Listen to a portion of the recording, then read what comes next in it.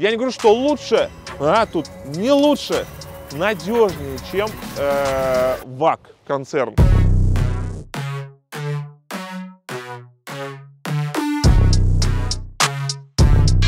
Переводим в режим спортивный. Вау, сейчас. Вау, прям. Ну, блин, ну едет, а просто офигенно.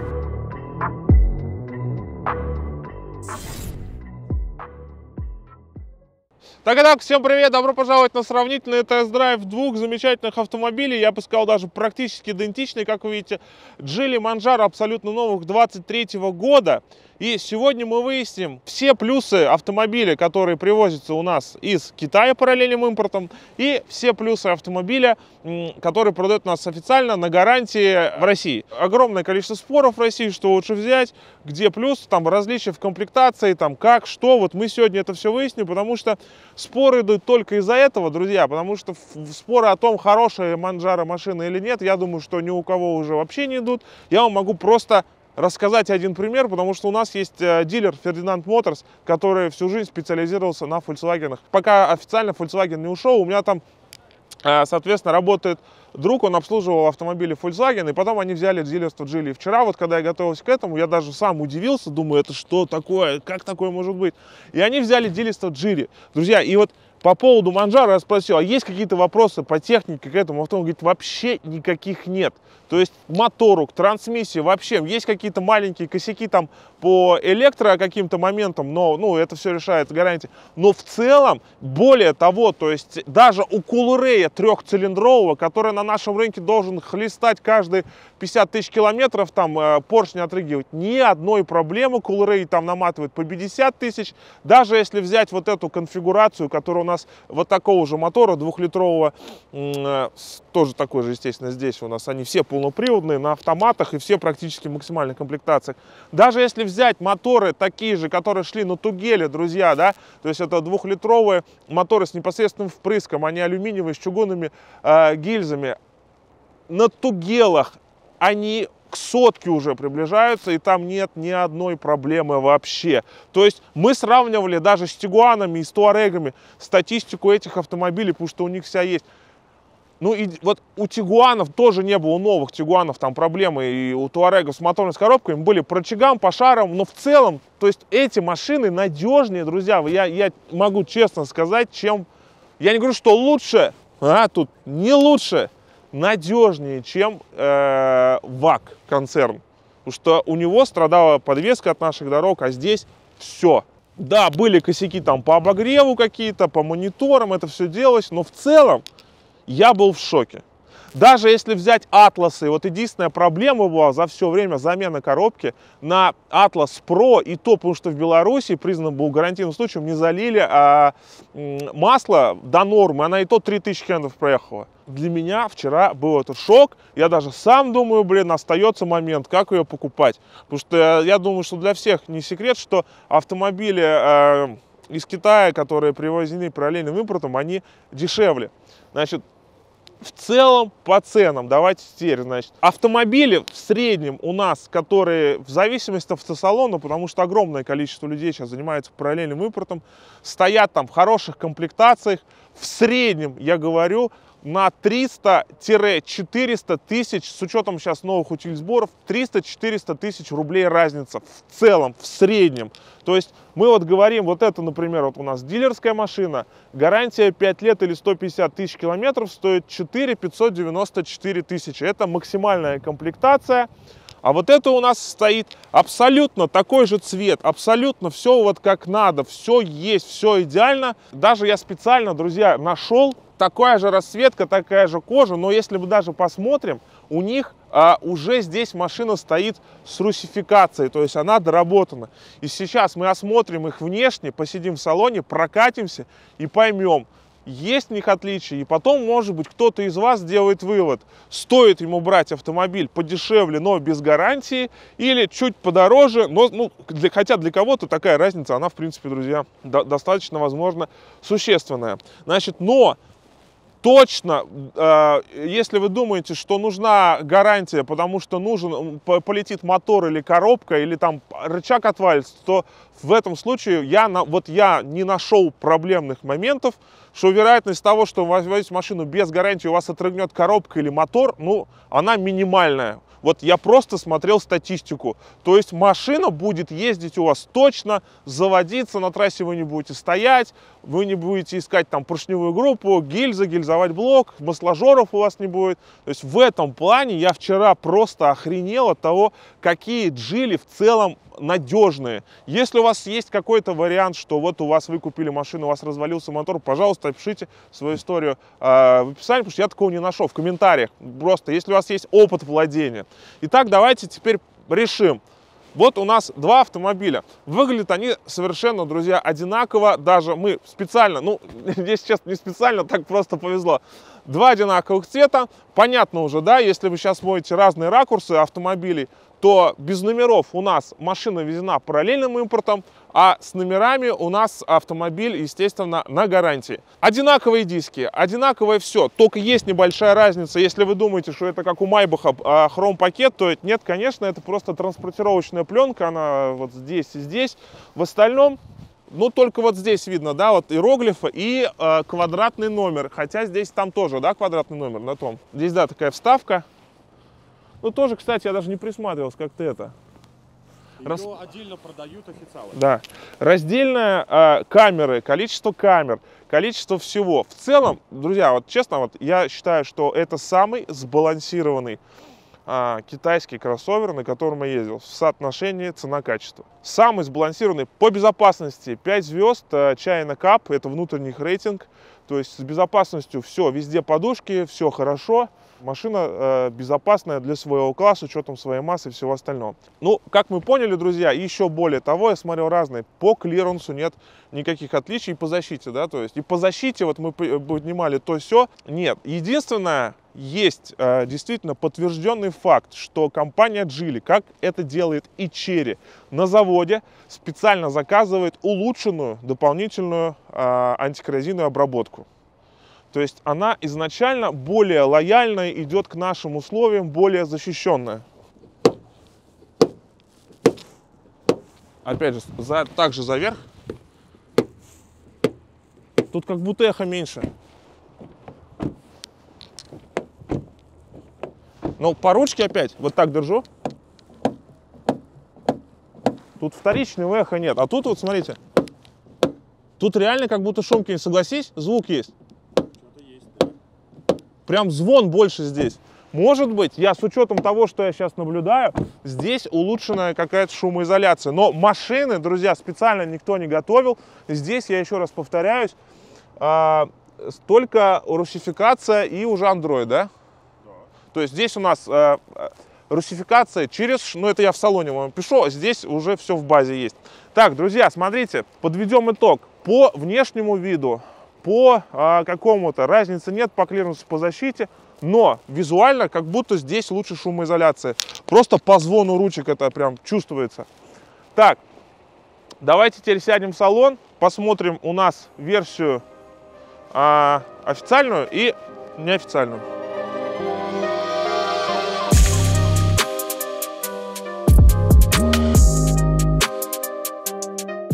Итак, друзья, э, значит, сравниваем два автомобиля.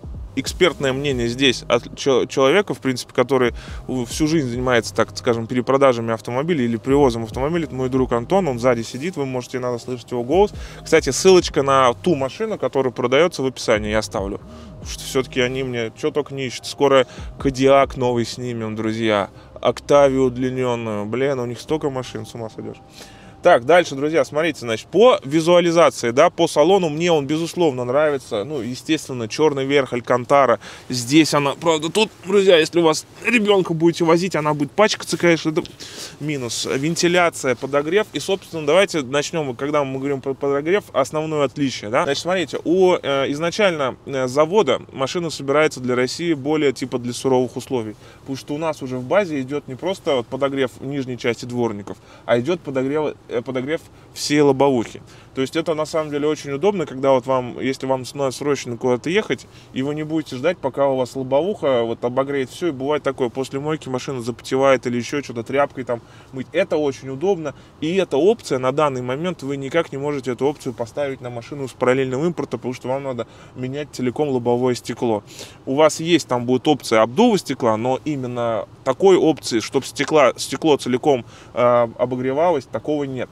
Далее, есть э, подогрев на дилерских машинах, есть подогрев э, э, форсунок омывателя. То есть на, на не дилерских, естественно, этого нет. Значит, есть подогрев руля на дилерских автомобилях. Он включается автоматически через менюшку с, с обогревом сидений. Опять же, подогрева руля нет на не машины параллельного импорта, но его можно поставить. Здесь есть обогрев у дилерских для России, для автомобилей для Китая задних сидений нет обогрева, но это тоже можно поставить. Самый главный минус, который все плюются от чего? Русификация, да, то есть э, естественно, у нас машина русифицирована, потому что есть э, действительно и русские какие-то буквы, но основное вот вы видите здесь, все понятно, все классно, три экрана работает, вид сзади, сиденье, вы понимаете, какая там опция вам нужна, вентиляция и все остальное, что это значит, 5-10 минут, ничего по китайскому нет, и, естественно, активирован третий экран. Третий экран у нас может всегда выполнять функцию вашего телефона, то есть скачивать приложение сюда, и он будет ваш телефон, например, дублировать. То есть, если, например, вот у вас есть телефон, а водитель слушает музыку, если вы едете в какой-то дороге, вы можете слушать звук с телефона, например, через наушники, или смотреть кино, здесь все будет выводиться, YouTube, все остальное. Значит, э, там этого нет, но сколько стоит русификация? Русификация у нас основная проблема всех автомобилей Манжара, потому что она может, э, на нее вы можете попасть. И 80% у нас русификации делается как, вот я даже с, с Еленой Лисой рулит, вот у нее автосалон тоже разговаривал, они делают только, разбирая целиком вот этот вот тоннель, вытаскивают, соответственно, бортовой компьютер, так скажем, да, если назвать, может, бортовым компьютером. Мозги головного устройства. Мозги головного устройства, да, правильно. Видите, вот специалист сидит, сразу видно. И от, я вот извиняюсь, что сегодня в шапке, как Иванушка, как, как дурачок, да, но как бы холодно просто сегодня у нас очень. И вот ты сейчас сам понимаешь, что такое обогрев, как он нужен, что вот это.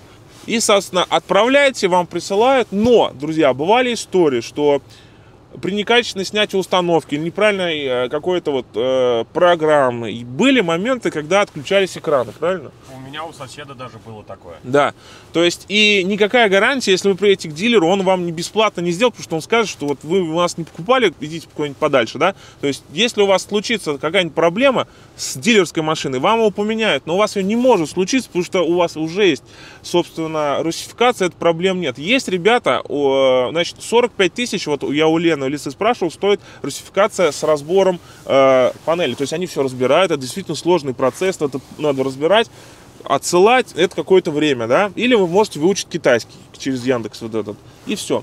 Второй вариант стоит 60 тысяч рублей. Это через шнур. Одна единственная прошивка, э, которая видит диагностическое дилерское оборудование. Реализация идет каким образом? То есть постоянно приходит определенное обновление.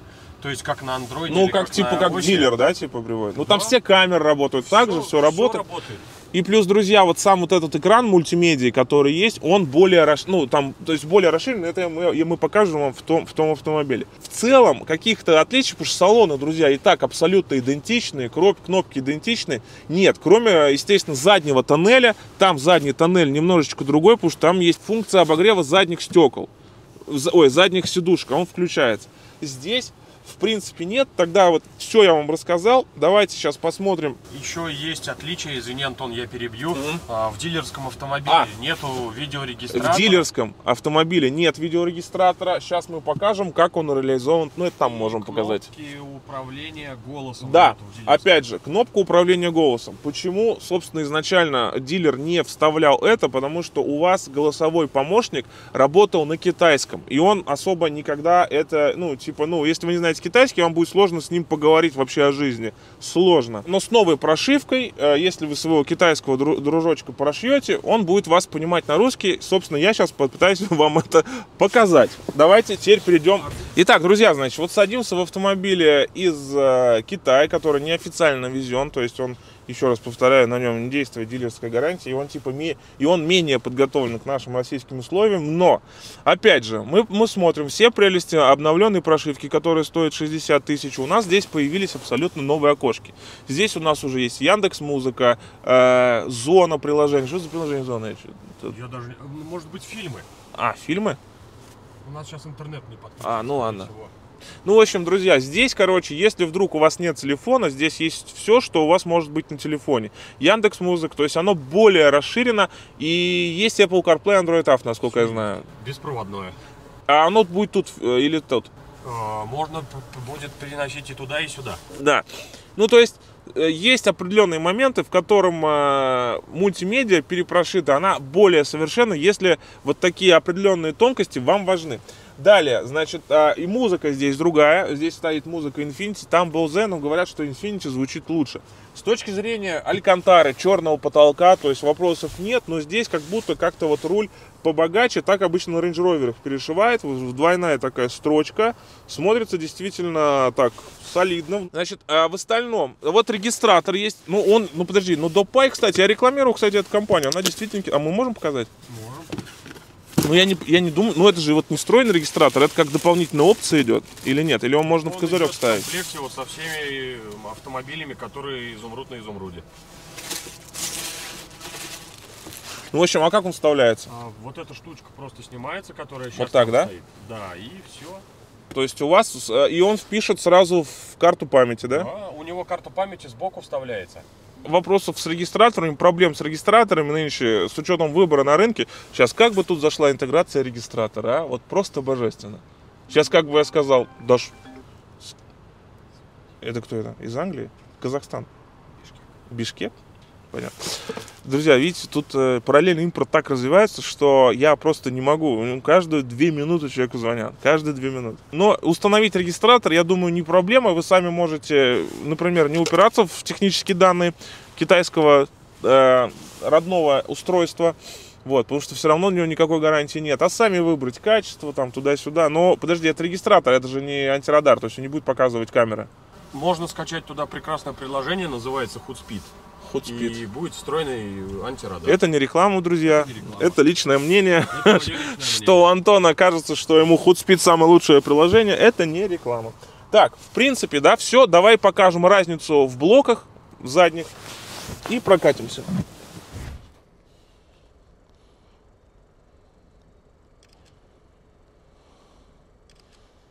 Смотри, четкость какая, детализация. Ну, неплохо. Сейчас я на этот на, на экран, друзья, выведу. Короче, друзья, смотрите, я вам рассказывал про многие девайсы неоднократно. Ну, смотри, прям, прям на всю рамку. Не, качество неплохое. Если мне сейчас дали попробовать а, телефон Honor 90, ну, в принципе, я считаю, что очень неплохо, естественно, такой красивый. Внешний смартфон выглядит очень стильно, такой легкий, тонкий, в руке хорошо лежит. Выбрать можно из трех разных цветов.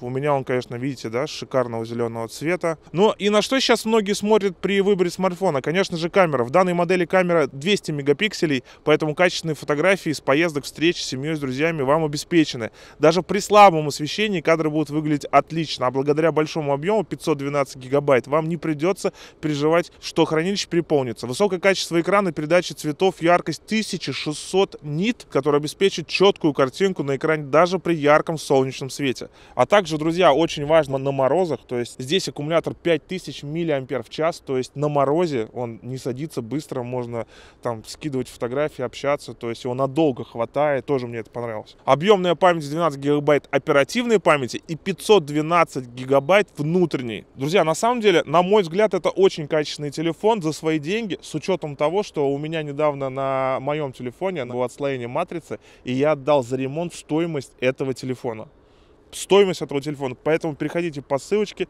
смотрите, потому что Honor 90, на мой взгляд, это хороший выбор. Итак, друзья, вот у нас, э, так скажем, задний блок климат-контроля от нелегального манжара. То есть мы видим здесь два USB, в принципе, тоже очень хорошо. Я считаю, что он его идеально, потому что здесь дефлекторы есть.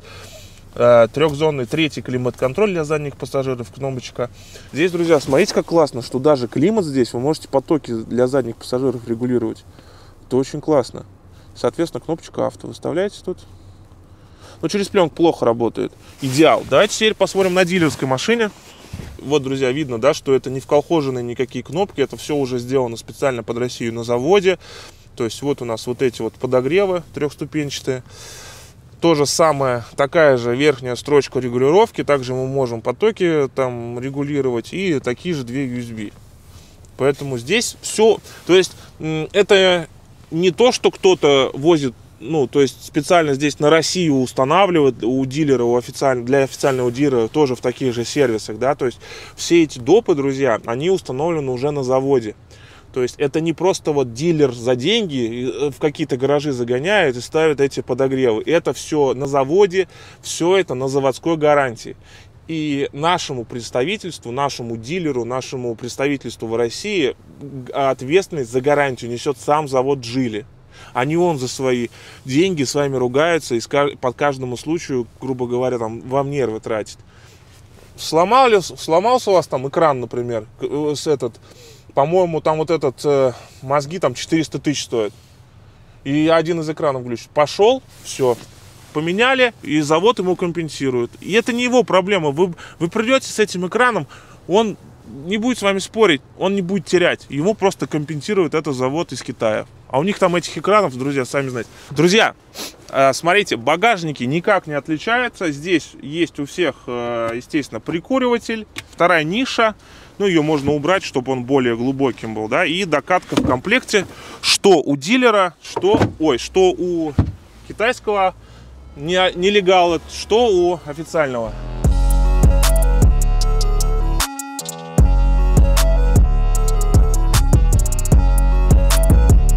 Друзья, к сожалению, не можем сейчас э, голосового помощника вам продемонстрировать возможности, что он здесь не активирован, к сожалению. Так, ну, э, что я могу сказать? Руль, руль холодный. О, какая тачка классная, надо вот про нее обзор снять. Так, друзья, ну что, вот едем, разгоняемся. Вообще, в целом, про автомобиль э, Манжара я рассказывал, э, потому что, ну, впервые с этой, с этой конфигурацией я познакомился, ну, мотора и коробки я познакомился на Тугеле. Тогда еще был огромный выбор европейских автомобилей. И, ну, китайцам, ну, вот, ой, Китай, там сейчас, что он может, господи, ну, я сел и охренел, честно. Я вот тогда, я помню, у меня там, по-моему, были подряд и X6M, по-моему, и Зима была, и, и Q7. И я думал, что будет прям плохо. Сначала сел, думал, ну ладно, экраны. И потом она реально едет и очень сбалансирована. То есть вот, э, если, например, мы можем, я всегда ругаю продукцию компании Cherry за подвеску. Там, неважно, там, это Exide, это сами Cherry, Амода, да, потому что она не сбалансированная. Э, было ощущение, что как будто она не готова, она для Китая, потому что ну, в Китае ну, в основном дороги лучше, они там не думают о виброизоляции, о эластичности, там, о кинематике подвески, как она, вот она будет работать э, по плохим дорогам, как дрожь будет передаваться. Для них это мало, там маленькая задача. Вот кроссовер завысили, седан занизили, как бы вот в целом иногда получается на самом деле подвески, которые не очень пригодны для наших условий. В целом, Манжара в этом плане очень сбалансирован и он очень европейский. Вот он очень напоминает нормальные кроссоверы. Я могу сказать, что даже Манжара на порядок выше, чем э, корейские производители. На порядок выше, чем тот же самый Соренто, Санта-Фе, то есть вот такие вещи. Его, в принципе, можно даже с Кадиаком сравнить в целом, в чем-то. Кстати, скоро вот Кадиак мы снимем. Поэтому в этом плане вообще нет никаких вопросов э, к подвеске, качеству. И неважно, вот вы купите автомобиль дилерский или э, из параллельного импорта, да, вы получите четкую управляемость во, все, во всех направлениях и по плохой дороге, и по асфальту, и грамотную работу полного привода. Он действительно здесь подкручивает. Я это все показывал в своем видео, когда вот снимал первый обзор на Манжару, на официальный, когда он вышел. Ну, он мне очень понравился. Более того, по шумоизоляции, если сравнивать, я пока не говорю про шумоизоляцию дополнительную, которая, возможно, идет на дилерских автомобилях. Но, друзья, понимаете, в чем дело? То есть, почему это несущественно? Потому что вы всегда можете заехать в любой гараж или в крутой деталик-центр, и вам ее могут улучшить. Как улучшается шумоизоляция, вы можете посмотреть мой сравнительный тест-драйв. Мы брали две амоды. А, одна моя, которая полностью вот завернута вот в шумоизоляцию. Арки, двери, э, этот, крыша, все полностью. И стандартную. Вот мы на децибелах, на приборах на, э, и на профессиональном приборе, на профессиональном децибеле намерили 10% разницы примерно.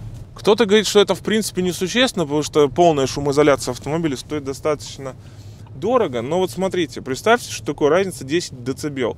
Представляете, у вас вот на полную громкость работает телевизор. Вот прям громкость. И вы берете пульт, и вот так, привыкли к этому, каждый день смотрите, он постоянно работает. А вы берете как-то раз и пульт, и убавляете на 10 делений. И вот сам по себе звук, он уменьшится вот примерно на 100. Вот она разница в децибелах в принципе, для того, чтобы меньше, меньше слышать шума каждый день, я не жалею о том, что я сделал шумоизоляцию. Хотя э, я на этой моде не езжу, конечно, но вот сделал это для эксперимента. Поэтому для кого-то 10% разницы шумоизоляции, она важна. Плюс еще, конечно, влияет выбор колес, резины. Вы поставите э, дорогую премиальную резину, она, естественно, у вас будет более тише, более, э, более комфортно, там, меньше вибраций передать дороги, даже при равном давлении в колесах. Ну, на какую-то часть. Не сразу все поменяется. Также, естественно, и с китайской, там, резиной, там, всем, всем остальным тоже так же все будет влиять. Вот есть эстеты, которые вот чувствуют машины, им прям важны некоторые мелочи, а есть, а, доехал, доехал, а похер вообще, они машины не моют, ничего им не надо. В принципе, тоже такой разумный подход. У каждого есть свой, друзья, подход к автомобилям, поэтому тут вам самим выбирать. Заметь, ты на летней резине. Она тише должна быть, да. Ну, я сейчас этот, боковым скольжением не ездил, так что...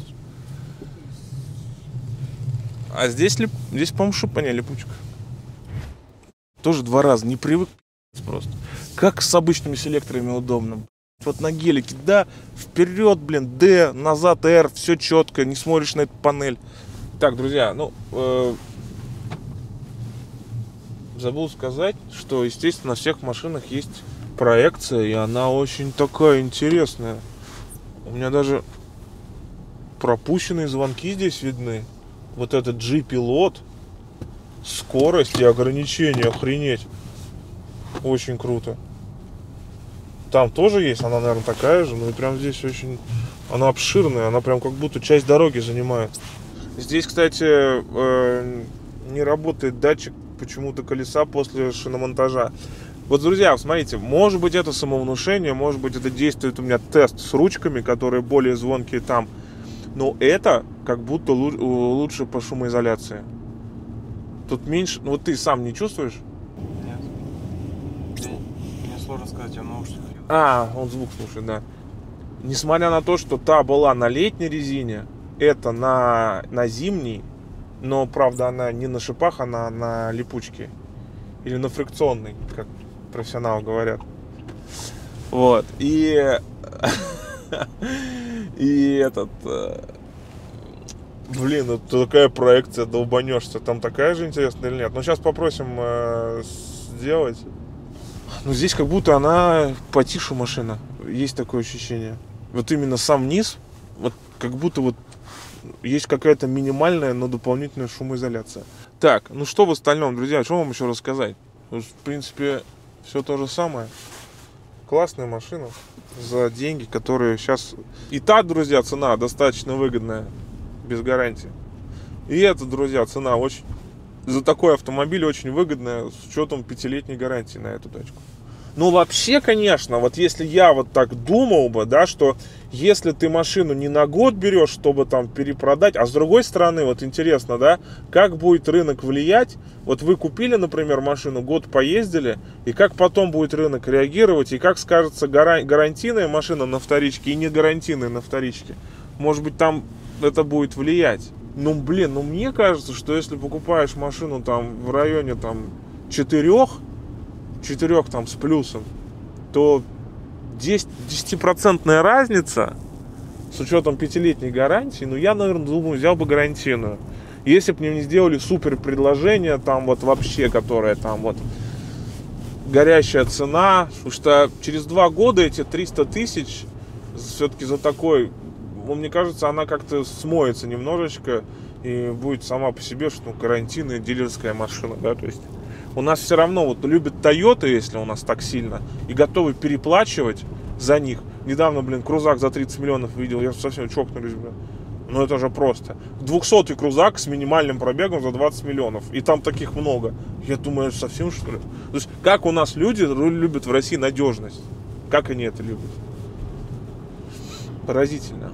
Но опять же, друзья, да, и мы такие, о, там 4 миллиона за кроссовер, какая выгодная цена, параллельный импорт. А так подумаешь, блин, это, это квартира однокомнатная, блин, такие деньги платить просто, как они все-таки дорого стоят. Неважно, дилерская или не дилерская, да. Это просто параллельные, э, параллельные деньги. Это твой друг? Так, друзья, ну можно чуть втопить, если у нас автомобиль, так скажем, переводим в режим спортивный. Вау, сейчас. Вау, прям.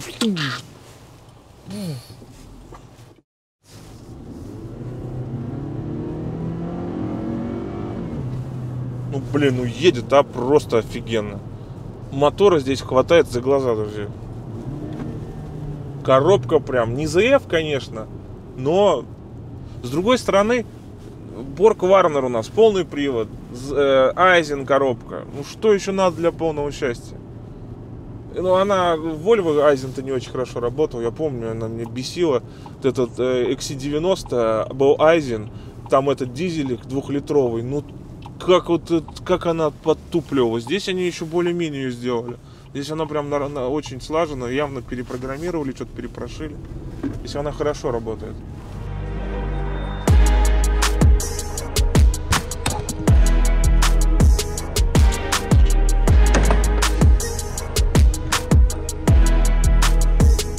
Да здесь даже как не лучше, чем в москвиче. Динамик сухой. Друзья, значит, разобрали панель дверную на наличие там какой-то какой-то разницы в шумоизоляции. Это что это? Что тут шумоизоляция? На москвиче тоже так было. Ну, на москвиче такое тоже было. А здесь у вас воздуховод идет. Это воздуховод, да. А это что такое? Пистон, А, вот Здесь это вот. Это антискрип? Ну, типа такого, да. Ну это считается, ну, это- ну это видно, что, скорее всего, китайцы тоже такого. То есть если есть место здесь есть под него. Да, специально. Но сразу видно, машина солидная. Да? Вот, друзья, мы Т9 разбирали, блок болтается, тут все по-человечески сняли. Смотрите, тут все закреплено. Динамики Alpine. О, Бузе или нет? Сейчас, скорее всего, Китай, да? Басы есть, да? Так, подожди-ка, да, а мы поднимем, может, да? О, смотрите, друзья, динамики даже. Или Bose, как правильно говорить? Автозвук. Басы. Bose, правильно? Не Bose?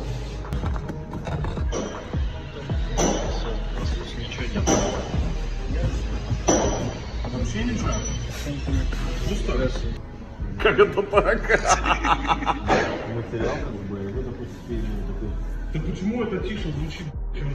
Потому что... Китайцы прям дан... Вот это шумная машина? Это да, шумно. Посмотри, одна есть машина не шумная? Нет. Нам А вот просто как? Сговор. Ну, или он 5 тем не шумно. А в дверях, может, внизу какая-то там мастика. Ничего нет? Если мы разберем Audi, будет примерно подобно. Там тоже шумки в основном не будет, но там все сделано качественно, здесь точно так же сделано. Может быть не уровень, конечно, Audi, но типа, Просто говорят о том, что дилер специально на официальные автомобили кладет там шумоизоляцию, чтобы лучше было, типа. А тут вот, чтобы разобрали, что типа вот ничего нет, все чисто. А? только плата.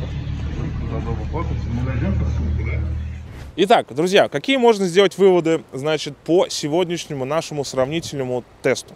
Значит, во-первых, давайте плюсы автомобиля, который везен параллельным импортом. Вы вообще на самом деле можете и сами провести, изучить весь рынок, э, посмотреть. И вообще машина, я вообще видел в объявлении в интернете, там 3200, 3300, но там машина в Китае стоит еще там.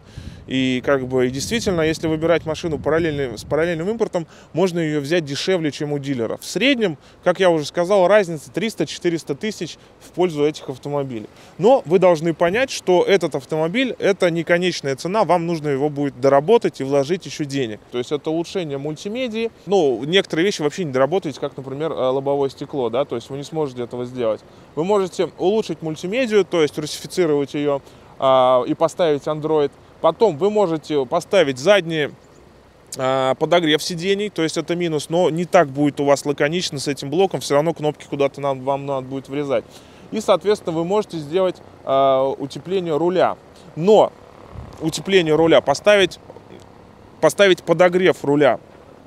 И плюс здесь, опять же, как говорят, музыка лучшего звучания и руль с более дорогой, в принципе, кожей. Теперь давайте э, посмотрим на плюсы этого автомобиля. Он фактически дороже.